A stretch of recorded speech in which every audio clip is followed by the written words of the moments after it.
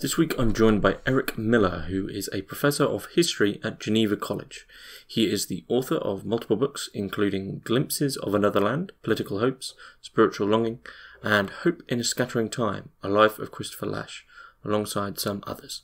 In this episode, we discuss the life and work of Christopher Lasch, alongside discussions on Christianity, theology, leftism, conservatism, and more. I'd like to thank all my paid subscribers and patrons for making all of this work possible. And if you would like to support Hermitix podcast or become part of the community, please find links in the description below. Enjoy. So, Eric Miller, thanks very much for joining us on Hermitix podcast. Thank you for having me. It's a delight to be here. We are going to be discussing the work of Christopher Lasch, who you've written a biography of. Uh, many people will know him for his well, many of his texts, but largely for his text, The Culture of Narcissism, uh, America in the Age of Diminishing Expectations, I believe is their full title. Um, so, but before we jump in with Lasch, uh, and I do hope I'm pronouncing that correctly because I've never actually had to pronounce it out loud. Uh, right. No, Lasch, yes. Lasch, okay. Um, yeah, Eric, just tell us a little bit about yourself, uh, what it is you do, and, and why it is you were so interested and are so interested in Lasch's work. Yeah. Well, I am a professor of history and the humanities at a liberal arts college uh, in Pennsylvania called Geneva College. And um, it's a uh, college started by Presbyterians in the 18, 1848 and uh, has been in this part of, part of Pennsylvania since about 18, since 1881, I think. So I direct the honors program uh, for undergraduates and uh, teach a history class here and there, and um, do all kinds of things that academics in my kind of position have to do. But long before that ever happened, I got interested in Lasch because um, I was partly it was a vocational tra- trajectory. I was in the midst of sort of discovering that I wanted to become an academic, a scholar, and I wanted to study um, American history in the in the in the 20th century. I was very interested in intellectual and cultural history and social criticism, and so Lasch became a name that I started to hear about. Um, but it also had to do with a kind of political ideological crisis of my own, which was I was coming of age uh, as uh, as a as an American citizen in the age of uh, the kind of Reagan ascendancy all through my teenage years, and then followed by George H. W. Bush uh, in the in the late '80s, early '90s, and then with the election of Bill Clinton in '92, uh, when I was I think 24, uh, actually 25. Um, I was just sort of shocked and uh, I had been left at the end of that political season with a sense that neither uh, of the two dominant parties in the U.S. were, were was a party that I felt particularly inclined to attach myself to.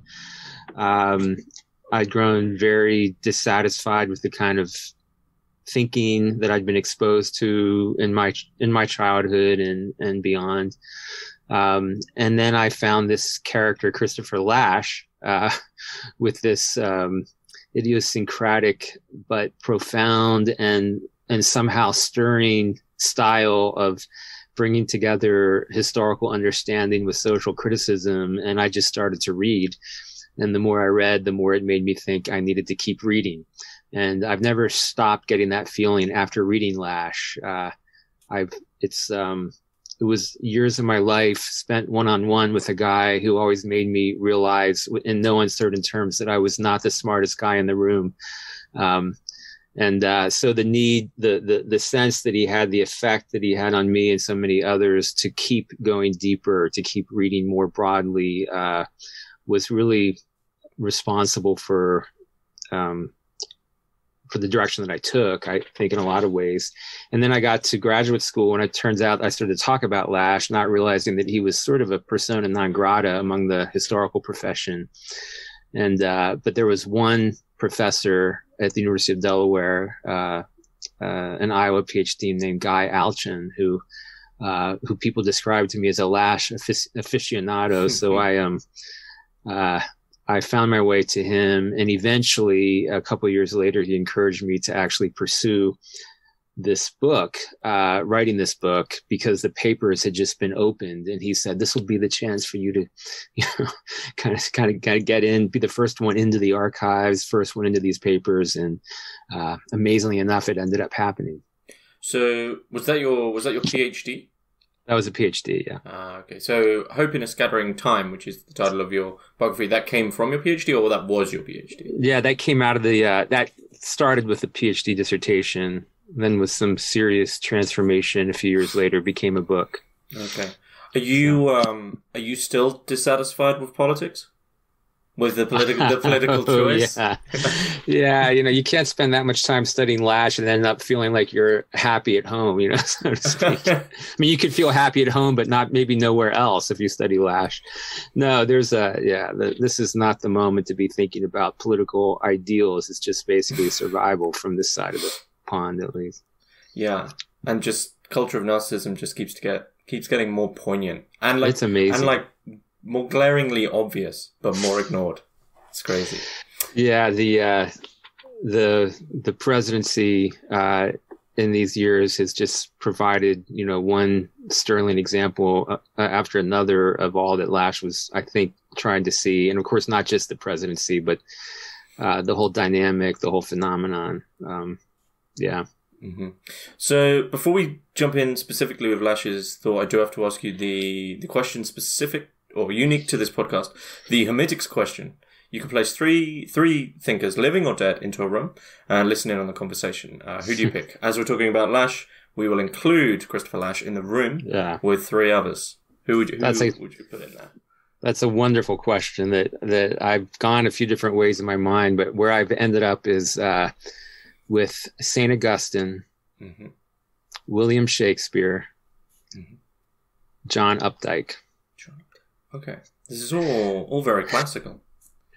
Yeah, and this is really what got me to this was I realized that in a fundamental sense, I think Lasch saw himself uh, most deeply as a writer and a writer who was very concerned to think about the relationship of soul and society and uh, and when he went to Harvard as a as a young atheist in 1950, uh, his parents were secularists. He um, he his father was a a newspaper editor of some eminence. His mother was a PhD in philosophy, and he'd been raised in a, I think he actually calls it somewhere, a militantly secular home.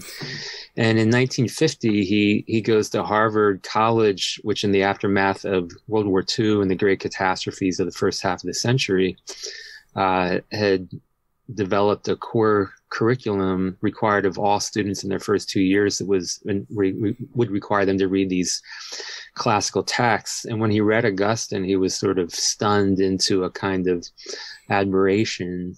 Uh, he writes home to his parents and says i can't stand his theology but there's something about the kind of effect of his intellect page by page that was just mag kind of magnetic for him. And i think it was the augustinian um, anthropology uh, and the uh, the wonderfully kind of poignant style, the way of thinking about the self in relation to uh, the broader world, society, and all of that. And I think that's a key part of um, that becomes a kind of key part of Lasch's way of um, of meeting people through his writing is at this sort sort of Augustinian intersection, I think. Um, but he uh, he aspired to become a writer. He goes he meets John Updike in 1950. They're roommates, uh, and so it just would be very amusing to me to imagine uh, uh, uh Kit and John um, uh, hanging out with these two massively influential and important and magnificent writers and, and influences. when Lasch dedicated each of his books um, he he chose a line from Shakespeare along with the uh, the person, the family member to whom he dedicated the books uh, as part of the dedication page. But he uh, he really he aspired to be a novelist. He and he and Updike had a sort of running competition of sorts that he gradually realized he was losing. Um, and as Updike became fairly quickly uh, a serious presence in American uh, literary life, uh, it took him it took Lasch longer to to find his way up to a, a not quite a similar pinnacle, but perhaps close for a social critic. And um, so, yeah, those are my three: Augustine, Shakespeare, Updike. Where do you where do you think that conversation might begin to begin to head? Hmm. Well, I think it might begin to head toward wit. I think it would be governed by wit. Actually, I think that's um, uh, Lasch loved nothing more than witty repartee that was not just shallow and superficial, but was sort of a reflection of a keener uh, register. and uh, and so, if you read one of the delights of this project, uh, which has now been many years ago that I did this this research, but uh, his correspondence was was just a marvel to read, a real treasury of American letters, um, and uh, and he th- he thrived in in that kind of witty exchange that had a kind of serious dimension to it, uh, and so I think that's sort of the the Shakespearean edge. I could see at least Updike Lasch. I don't know, you know, uh, I don't know so much about Augustine, but uh, so I think that would be one thing that would kind of lead such a conversation. But I think eventually, um, the uh, the prospect of deep human meaning in human community, and then the uh, the sources of our perennial enduring frustrations and our attempts to achieve that are something that I think preoccupy all four of these people in in ways that they were never able to really let go of.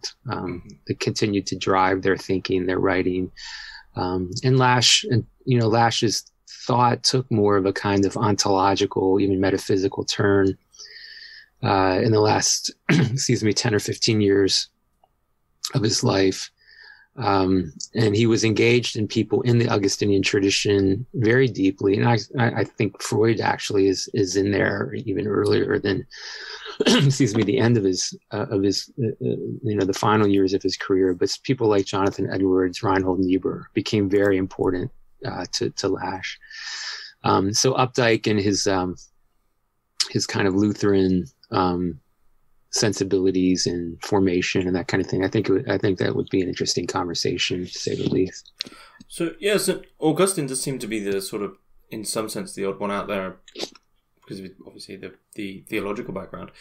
Do you think Lasch is sort of, if if there is sort of do you, a religious trajectory there within his life, do you think that's overlooked in terms of his work? Um, I think it's easy to do that uh, if you look at the work from his mid period, by which he's most well known.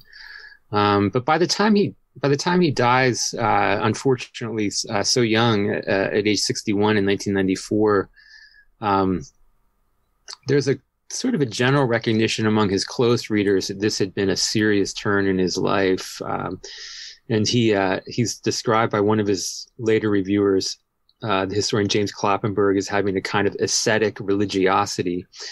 Um, but he, of course, there's no conversion, there's no, you know, public affiliation with any kind of religious tradition, even. But it's something that he seems to continually uh, be going back to. In fact, his last book, uh, The Revolt of the Elites, published posthumously, um, he closes, uh, at least the book closes with a with an essay called "The Soul of Man Under Secularism," and uh, and he concludes the essay um,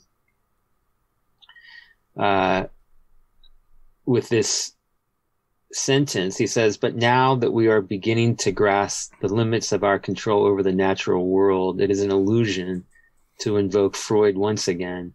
The future of which is very much in doubt, an illusion more problematical, certainly, than the future of religion. And he was talking there about the illusion of mastery, that was he sees as so central to the dominant tradition of Western politics. So I think he had his turn toward religion uh, was quiet, but it was deep, um, and it became something that he I think he found himself needing to grapple with uh, after the uh, culture of narcissism.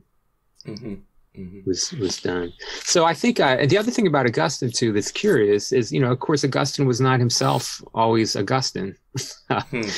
He was uh, he was himself an older convert uh, who had an immensely um, uh, sort of conflicted. He lived an immensely conflicted intellectual and religious life in the years prior to his conversion and in the years I would say after his conversion, uh, in terms of his spirit. And I think that sense of deep conflict and wrestling is something that um, that you feel page by page with Lasch. Mm-hmm. Mm-hmm. So this sort of almost mirrors in a way another, well, the, I guess the, the, the primary sort of conversion for Lasch, which is a strange one because I hadn't read mm-hmm. I'd read Lasch's work, um, but I'd never read the biography, and it, was a great. It's a great book. I recommend it to everyone. Um, but what Thank surprised you. me was Lasch begins, as you say, in this militantly secularist household, which is also seems to be militantly sort of progressive. So Lasch mm-hmm. begins. Lasch begins as this progressive, yeah, and then as he uh, sort of proceeds, he actually sort of. I don't know if he becomes a Marxist, but he seems to flirt with it for a, quite a while, mm-hmm. and mm-hmm. then and now uh, he would be characterized by by by some. I mean, this isn't how I would characterize him. Some would probably characterize Lasch as quite far right now, but many would characterize him as conservative. So we have yeah. this like this this almost a horseshoe, a complete horseshoe. So what do you think are the the, the key factors in Lasch's thought which made him, you know, or his perception so radically? Yeah, I'm not sure how much they were radically altered. I I, I think that um, I think a lot of his initial convictions are deepened, uh, and they're deepened in a way that has a kind of ideological dimension that he works out over the course of these decades. Um, I see, you know, we talk about these categories of left and right and conservative and liberal. Um, one of the things that he began to toy with in the 80s was whether these categories have any broader meaning anymore. By 1980, 82, 83, he begins to question whether the idea of the left itself has any coherence. And as I started, and I thought about this over over these years uh, working on him, in a way that made me wonder if what we really have in the left versus in the left right spectrum is a sort of vestige of Christendom. Mm-hmm. Um, and uh, I guess this is in some ways a Chestertonian insight, um, who begins orthodoxy uh, in 1909, I think it is 1908, uh, with this suggestion that what's really happening in the modern world is not the the killing off of the Christian virtues. It's just the virtues run wild, um, going in all kinds of different directions. So you have, uh, you know, you have some people who are seizing onto this dimension of the old kind of Christian vision or these Christian sensibilities and other kind of ideological directions but they're all sort of un, unmoored from the older theological traditions in which they had emerged. Um, and uh, and so I, I, think you know there's different ways in which the classical leftist orientations reflect uh, notions of justice that emerge out of this old order, and then the conservative notions of order and all these sorts of things. Um, but I think that Lasch, uh, there were just these different elements within these this these older constructions, these kind of moral ideological constructions that he found himself deeply committed to and attached to. And, um, and I think that he saw as Christendom continued to wane, as it were, and de- dechristianization is taking place and secularizing of society is taking place, and people are less and less living even within the moral universes that are created um, uh, and that even the leftists of the early 20th century, for instance, are very committed to, or, are very deep into, even though they're sort of ideologically moving in different directions. I think he just sort of puts some stakes down and says, "This is what I'm going to defend, and I'm going to try to develop ideologically a way to do so." So he defends the family and something of its classical form um, within Christendom, and and yet he completely uh, sees capitalism as the enemy of this. And so he writes this book in 1977, Haven in a Heartless World, um, to defend the, the ultimate necessity of the family for a liberal democracy, for a decent society, even though he's writing very much as a secularist uh, and in his own mind as a, as a kind of Freudian Marxist. Um, but that became the the kind of thing that he was gonna he was gonna stake his claim to that this was a crucial, cru- politically a crucial institution that needed to be defended against these other elements that were taking place. So is that conservative? I think it's. I think yeah, there's a kind of conservatism to that, but it's also kind of radical, um, in the sense of it going down to his conception of what a root, what was at the root of a good order, um, and then you defend that against other things that are attacking it, even things that other conservatives are touting, like liberal capitalism. So all that to say, um, uh, I'm not sure that it's a. I'm not sure it's a big change. I think it's a define. I think I think just things just come to sharper definition, and as the broader civilization is itself shifting and changing, he's uh, he's holding on to some things that the other people are happier to leave behind. It's strange. His his defense of the family is almost mirrors um, Adorno's in that it's mm-hmm. this defense in that the family is seen by Adorno and by Lasch as as that sort of uh, unit or institution. I don't like to call it an institution mm-hmm. because it's more organic than that, which mm-hmm, can mm-hmm. you know fend off capitalism. It's the thing which which right. can. So. and that that probably inspi- helped inspire him to be sure. Horkheimer was huge for him in this moment. Was it, sort of deciding that he's going to hang on to, you know. So that's quite surprising. Did he have more direct influence from the Frankfurt School, or is it largely Horkheimer or Adorno? I think he read the Frankfurt School uh, in a general way, like a lot of the you know neo Marxists of his vintage. You know, were were sort of very conversant in. Um, he singles out Horkheimer later as as sort of inspiring a kind of courage to resist the dominant ideological positions and and trends and to kind of to, to kind of burrow down on this point especially so, so what was his um, view of capitalism in in that moment? Well, I think that he was deeply committed to uh, the vision of society that was uh, localist, that was decentralized, that was anchored in familial relations that were stout enough and rich enough that would make it possible to work through the uh, messiness of everyday relations between parents and children. Um, his argument in Haven in a Heartless World is certainly premised on the inevitability of profound psychic conflict and tension between human beings in general, between parents and children. Um, but he thought that the family was absolutely crucial as a place where we would learn to confront these terrors of the inner life and then work toward um, responsible, mature, loving relationships with one another. And this then would become the basis for a democracy that would make possible people who were courageous uh, and virtuous enough, although he wouldn't use the language of virtue until after uh, uh, he reads MacIntyre in the 80s. Um, but uh, uh, people who would be able to resist the inevitable attempts of uh, other people to gain power and use it to their advantage. So he sees capitalism as fundamentally, I think, working against democratic civilization, and it, it's attacking it at its most, uh, and attacking and diminishing and sort of corrupting the influence of parents over their children, the relations between parents and their children, the integrity of local life, the integrity of neighborhoods, the integrity of professions. Um, Lasch was very committed to uh, basic pre-industrial forms of labor that he thought were crucial for human development, learning to learning crafts. Um, people like William Morris uh, are important for Lasch, Raymond Williams, um, a lot of the British Marxists of the 60s um, and 70s.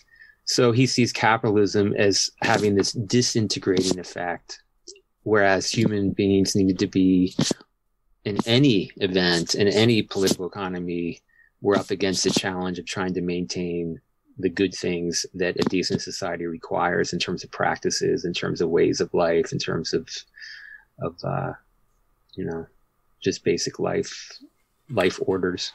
So his sort of argument to be able to get beyond capitalism is actually sort of a, a reversion to that older form of leftism where you you know you are united as a let's say a union or a commune or something. Mm-hmm. adhere as a group.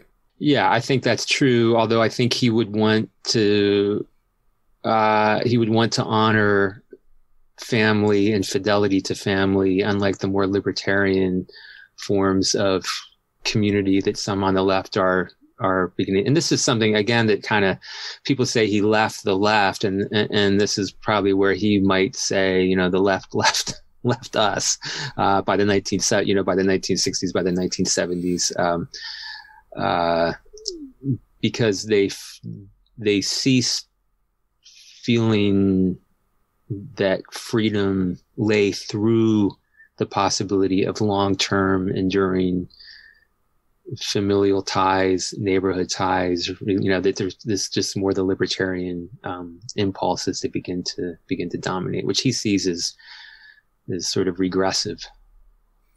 Do you think that's perhaps where this criticism of progress comes in? That the, the you know that this idea of progress sort of gets hijacked by mm-hmm. capitalism mm-hmm. and by those by those urges, by those libertarian urges. So it gets confused as to what it actually is we we should be progressing towards. You know, he had been skeptical of progress even as a young even as a young graduate student in his early twenties. Um, he was he was put off by the sort of sunny side progressivism of the progressive era that his own parents had been so influenced by.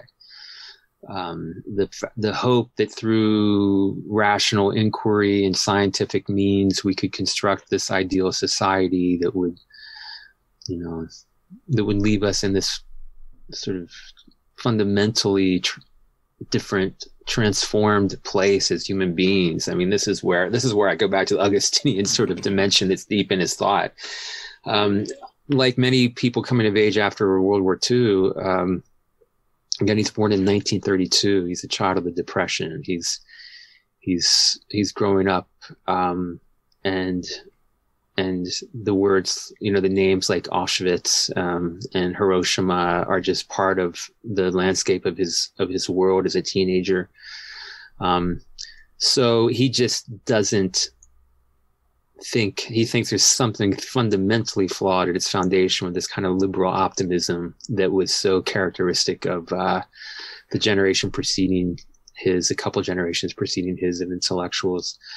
So I think that I think that and partly in his case, uh, he knows so much about tensions between parents and children because of the tensions that he lived with his own his own parents. He his uh, he would later say that he used to go home from Harvard to his philosopher mother and just tick her off with all this existential mm-hmm. sort of uh, language and writers that he was reading, and uh, and and and taking a kind of perverse delight in in in, in the whole, you know, in these exchanges. He was very close to his parents. Uh, uh, it's a, I mean, the, the letters between his parents uh, and him from uh, his his college years in 1950 into his mother dies in the early 1980s and his father he out, his father outlives him.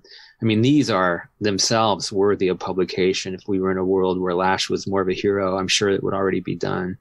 Um, but um, uh, so I so I think the question of progress for him is rooted in a dissatisfaction with the enlightened, uh, with the American Enlightenment, as it were, the uh, the kind of happy, uh, optimistic, progressive American style that he has very little interest in. He he um, his father-in-law is um, is a, a, an eminent historian and a sort of public intellectual named Henry Steele Commager um, who taught at Columbia, and uh, and his father-in-law. Um, uh, I'm trying to think. Okay, his father. I think it was his father-in-law who would set him up early on with different kinds of publishing opportunities. And one time, one of them was. I think this came through Commager. I may be wrong about this, but was to uh, to write a foreword to Charles Dickens' uh, little book on his visit to America. I can't remember what it was called now. Note, Notes on America, perhaps something like that. That I think was uh, initially published serially, and uh, it's just really interesting to read Lasch at about age thirty, just using all of Dickens' dissatisfactions with America to express his own as a young, you know, uh, his own sort of take on the American scene. But the American progressive optimism is just something he has no Uh, he has no sense of uh, affinity for, uh, and has very, very deeply developed reasons for for opposing it. Um, and so that becomes, I think, the sort of the initial.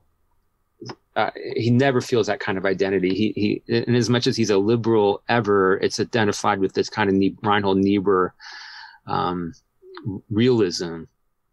But uh, uh, so then Mar- Marxism becomes attracted to him, to him because it helps to explain so many of these.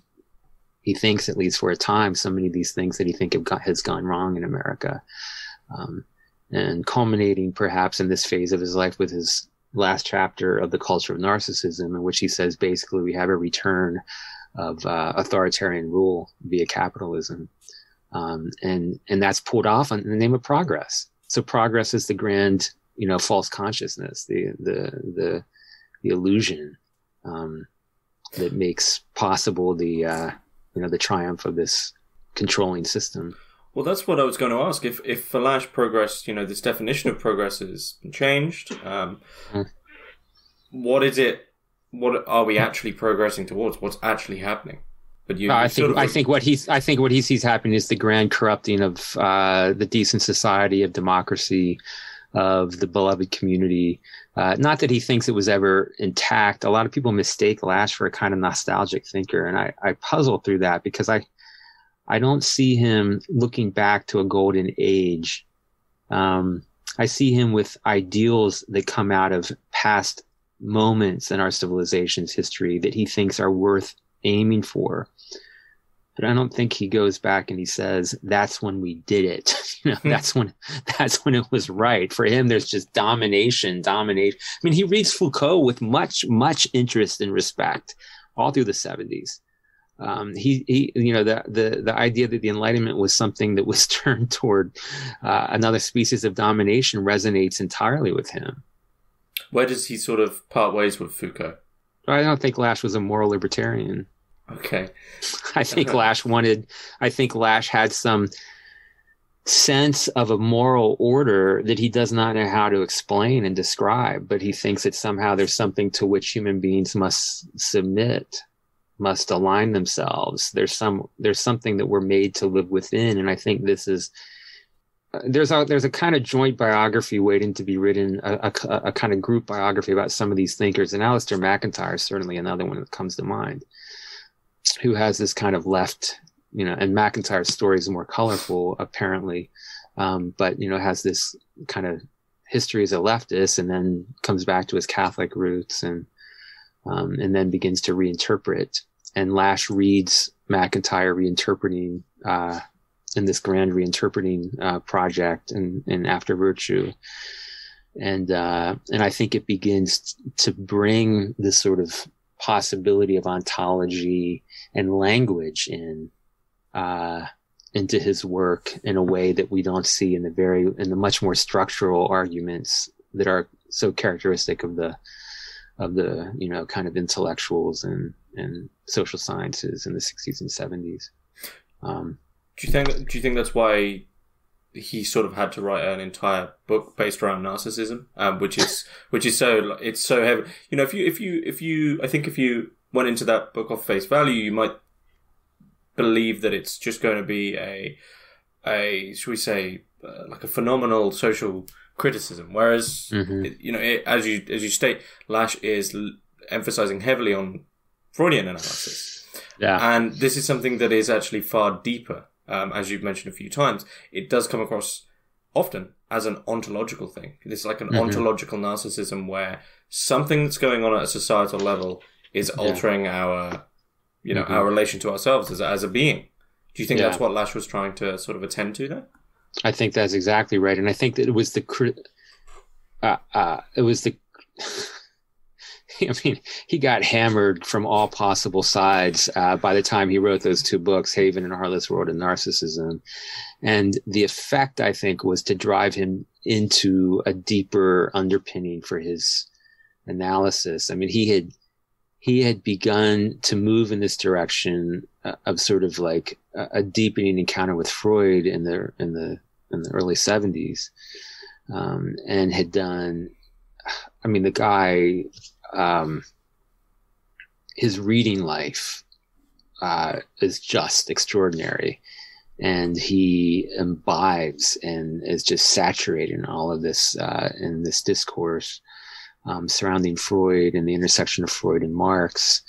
Um, and uh, and so he out of this eventually by the mid 70s he comes out with these two books and and, and I, I almost think culture of narcissism it's not an afterthought but it was sort of it, I think it was an unplanned book. I think uh, Haven in a Heartless World was supposed to be the start of a uh, was sort of like the theoretical introduction to this big uh, uh study, historical study on the family. Um, and he develops this kind of theoretical start, but then he has all of these. By this time, he has all of this. Uh, that's just filling his mind, and it's developed into this theory of society that he lays out in culture narcissism this sort of that he he kind of tosses off i mean it's a very quickly written book and he's shocked by its by its success and i think that you know and then it gets so much attention which is even more shocking he was a very retiring um, sort of person um, in a in a kind of general sense although he was very richly convivial in you know kind of smaller circles uh, of of people and intimates and so on but um uh, anyway, all of the exposure and everything pushed him into new places. Of course, as well as just the fact that Freud himself was was beginning to wane in terms of influence generally. Um, by the time we get into the end of the 70s, I almost kind of see nar- the narcissism book as the last gasp of kind of the power of Freud over the uh, kind of Western intellectuals. Um, the linguistic turn takes things in different directions. Um, who do you so see? who do you see sort of replacing Freud at that moment? For Lasch, or just uh, in general? Yeah, well, for Lasch and then in general. Yeah, it's a good question.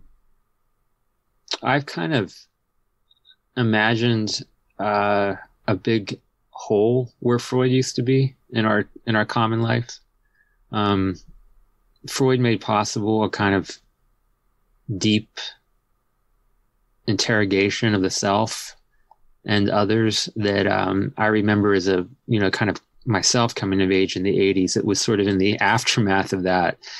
Um, but it seems to me that we don't have those kinds of conversations so much anymore. Now we talk about going to a therapist instead of to a psychiatrist or a counselor. You know, we have much, things are much more.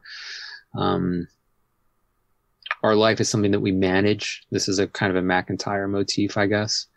Um, and uh, and we we don't look i'm not i'm not sure that we look deep or at least deep in these kinds of ways that freud took us in terms of Lasch, i think Lasch goes toward toward religious self more self-consciously religious thinkers and theological thinkers. And and i think i my, i think MacIntyre had a had a part in that actually. Because macintyre ends up describing in after virtue uh, uh, a, a kind of series of characters and and develops these portraits that sound a lot that sound pretty nar- narcissistic. But he talks about emotivism and he, he, he brings in other kinds of discourses into Lasch's thinking um, do, you, do you think it's sort of the same problem again in that you can't have freud with this sort of um, grand sweeping underlying theory of what it is you know delving deep into the, the human psyche if your culture is heading towards a, as you as you called it, a moral libertarianism. Those two things are sort of incompatible. Yeah.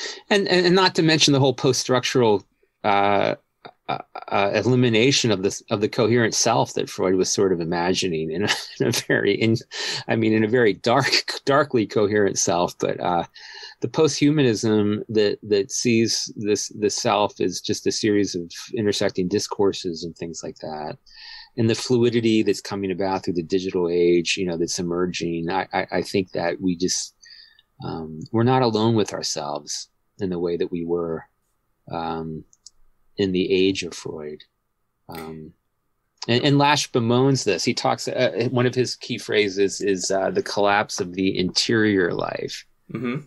The interior life, and I think uh, a post-humanist world interiority in a post-humanist world is very different from the kind of interiority that that predates it. My sense, at least. I don't know. And I'd be curious what you think about who does that, does anybody replace Freud t- to you? That's a great question. um, I was just thinking that I think in certain spheres, yes, I think a lot of people on the in the continentals, a lot of people went to Lacan, mm-hmm. um, and I think perhaps in spiritual circles, many people went to Jung. But actually, no, both of those camps never really ventured back to Freud to use, you know, Lacan was on about a return to Freud. But I don't think there's anyone who was, you know, you know, the big, big clear that everyone, someone, I mean, Marx always stayed there. I think Marx, mm-hmm. Marx always retained his place. But right, the, the, the structures are still there that Marx talked about, but the self that Freud talked about, I'm not sure.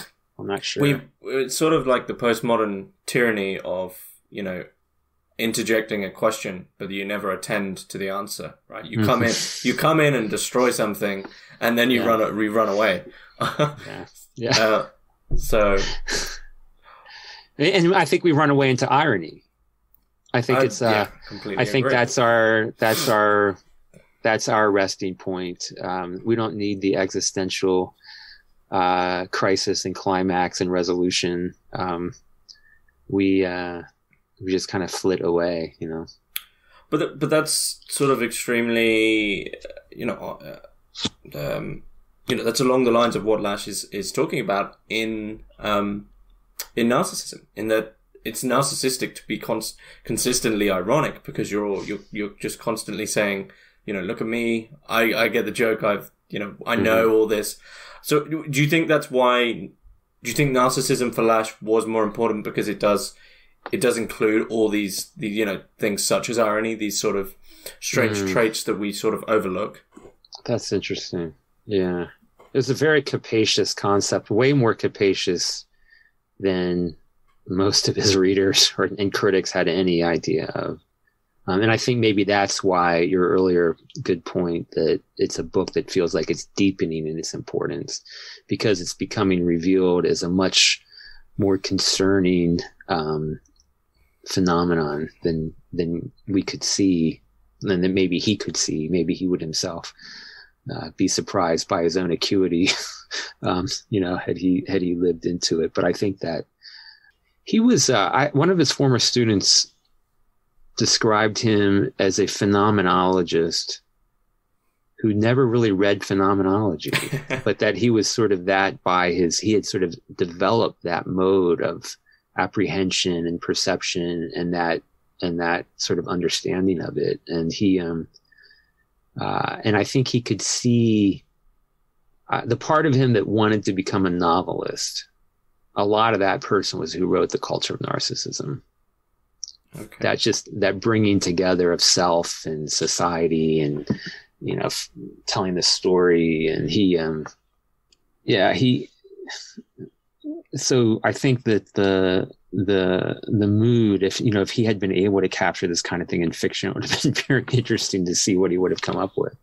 Mm-hmm. Um, so I think for listeners who haven't read it, it's it's a book that's far beyond just an analysis of what happens yeah. in a self-centered society. Yeah. Oh, yeah. He uh, he did not think it was the problem with self-centeredness he thought it was the problem was the diminishing of the self, the weakening of the self, the collapse of the self, um, the retreat of the self. He saw he saw an ideal that humans should mature in, into being replaced by another kind of ideal that was only there because people had lost the ability, the strength, as, as it were, to become that other sort of person. They had just sort of lost that, you know, so you kind of diminished in form. And again, maybe this follows another of a, a kind of an Augustinian um, mode of thinking about goodness and evil, where for Augustine, you know, evil is the diminishing of the good. Um, and as that happens, there's a kind of, you know, in Freudian terms, a kind of regression. Um, but there's something that's lost. And when that thing is lost it it leads to comedy it leads to tragedy it leads to satire. I mean it's just like whoa the thing is not what it used to be. Look at it. That's funny. You know that's mm-hmm. that's that's the stuff of caricature.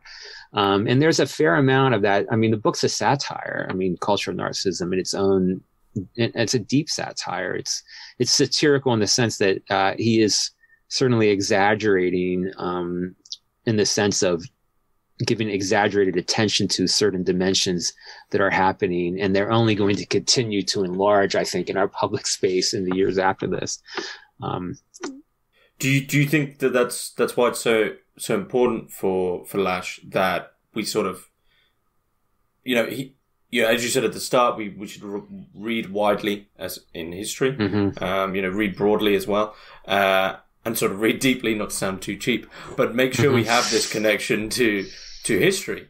And one of the things that that comes up time and time again in the biography is that he retains this sort of extreme importance for mm-hmm. people to keep connected to history. Yeah. Because if you keep connected to history, you can, you know, you can have this this assessment of what's what's going to happen, what's mm-hmm. you know what's come before. And do you think that that's that's where we can find in that detachment from history and historical knowledge the beginning of sort of capitalist man, where just nothing really matters because you're no longer beholden to anything of you know value or authenticity or lineage or heritage.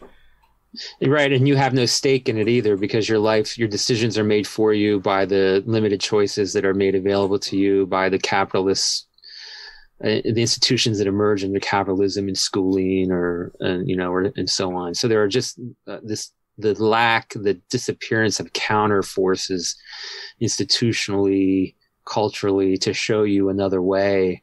Um, and that's that's no recipe for human wholeness you know? Mm. um, as he thinks about it. And again these are the kinds of old words or concepts that make him look conservative. Um, you know when you even talk about such a thing as human wholeness what could that possibly mean? But that's what he's that's like i said earlier that's where he decides to stake his you know stake his ground and say no i think this is this is a good that we need to work toward and to hold. I don't know where it comes from necessarily. I'm not making claims about any. I just think that it exists. Mm-hmm. I think that's important though. Too. Yeah. That's not something you see very very much anymore. I think since so we brought them up, but since the post structuralists, everyone sort of tiptoes around, you know, staking a claim. Exactly. Sure. Right. uh, yeah. Well, I mean, what, because a state, you know, to stake a claim is just a power move. That's all it can ever be. Um, and uh, I think Lasch is having none of that. So do you think for Lasch then this uh, actually what, what we've headed into sort of in the last maybe five years, I'd say it's, it's accelerated very quickly, but the sort of uh, cult of atomized identity, where the most important mm. thing is to sort of be able to assemble yourself as a, you know, a certain mm-hmm. uh, collection of brands or whatever it is. Mm-hmm. Th- do you think that's sort of become our new religion in a la- like a Laschian sense? A kind of uh, uh, an ongoing, the latest form of an ongoing religious trajectory. Yeah, I think he. Uh, I mean, he. I'm sorry. Yeah. I was gonna. No, no, go ahead. Go ahead. Well, I was just thinking he. Um, I'm trying to think of this. Uh, if I could find this passage in the book, he talks. Um, as he sees the counterculture emerging in the late '60s, he's very concerned that it's going to take this direction. he doesn't see, he can't foresee all the kinds of technology, the ways that technology and the technological infrastructure, I think, is going to push things in this direction, is going to facilitate it. Um, our sort of, um, uh, uh, you know, breaking of ourselves apart or this sort of final fluidity that we seem to be living now, where our bits of ourselves go in all kinds of different directions all the time. But, um, but I do think that it's this, it does come to have for him, it does come to look like the final realization of that enlightened individualism that is now actually diminishing even the individual. Uh, he's very attracted to the communitarian. I mean, by the another thing that happens in the '80s for him is the the rise of communitarian, the communitarian thinkers that that movement. Uh, on the American scene, Michael Sandel, uh, a Harvard government professor, is a, a, a, big figure who takes on John Rawls' theory of justice. Um, but he's looking for people who are interested in finding non-individualistic ways to conceive of human beings and then to present publicly another vision, a possibility. Um, and, uh, and he does this out of fear that we are going to be sort of the play, we are the playthings of forces that are all too happy to see us fractured in this way. Yeah. Okay. But because of, as you say, the kind of religious, uh, uh, you know, the the the the religiosity. There's a kind of religious cult of the self that um, that that that makes it tough to to make that case because we're very attached to it. Uh, it's just, it is sacred to us, I think. It's interesting that you call it a trajectory. Do you think Lasch had any idea where it might end or where it's trying mm. to head? I think he I think his fear was it was just lead to domination, to utter domination in a way that would lead to and I think he saw that as a profound injustice. Okay. You know, I mean, if if to be just is to bring things together that deserve to be joined, to put things together whole, uh, I think he was working with the conception of human well-being, human flourishing, that saw uh, justice in community. you know, um, not not atomized bits and pieces of what were formerly known as human beings. You know. Okay. Okay. So the last question then is: Why do you think it is that um, Lasch has been so overlooked and sort of forgotten, especially considering Culture of Narcissism? Uh, you know, it was a bestseller. It even says that on the, the new cover, and um, yeah. And uh, it won it won the uh, the National Book Award. You know, it was a big big yeah. text. What happened? Well, this is uh, I came across the this uh, quotation by Louis Dupre, uh, uh, uh, philosopher, and he says, "In a period of frantic change, no thinkers vanish more rapidly than those of the recent past. Hmm. Their ideas are not are not so much refuted as shoved aside for a succession of new ones that address the present more directly." We secretly fear the ideas of the past not those of the remote past, but of the past still remembered. Their growing paleness reminds us uncomfortably of the transiency of our own thought. Hmm. I mean, that's a sort of interesting existential kind of reflection, but I think it has something to do with it. I mean, Lasch was so yesterday. Lasch was so, you know, whatever, 80s, 70s. Lasch, well, it's that's exactly what it felt like in, you know, about the year 2000, 2000, you know, late 90s. Um, uh, yeah, we've we've heard him, we've understood him, we've ingested him. Um, uh, I think that because what happened just after his death, in terms of this massive transition uh, and transformation of societies via uh, digital media, I think that puts someone like him into instant eclipse, whether deservedly or not. I mean, I was just thinking about this today. Who would have thought when I started to work on this book that something like this would be taking place today? I mean, you know, and, uh, and on the one hand, the return of radio via podcast, but on the other hand, that I'm having a conversation with, uh, you know, with someone across the ocean. Uh, that's, you know, it's just all these things have just changed things in ways that we're just catching up on, or perhaps we're beginning to see. So I think the return of Lasch into discourse um, is a sign that he's receded enough that we we have the courage to go back and revisit him. Um, and I think we can see things that we couldn't see as well uh, even 20 years ago about his about his legacy.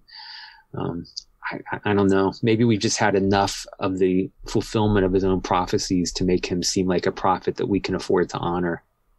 Okay.